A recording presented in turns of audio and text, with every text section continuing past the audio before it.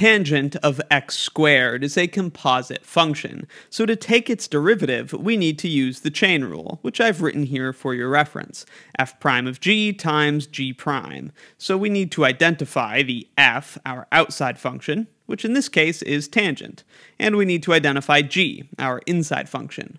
What's inside the tangent? Well, of course, that's x squared. So there's our f and our g. Let's go ahead and apply the chain rule. To take the derivative, we begin with f prime of g of x. The outside function is tangent, and the derivative of tangent is secant squared. So we have secant squared of the inside function. Remember not to change that inside function, which in our case is x squared.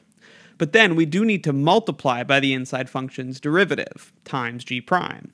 The derivative of the inside function x squared is 2x, so we multiply by 2x.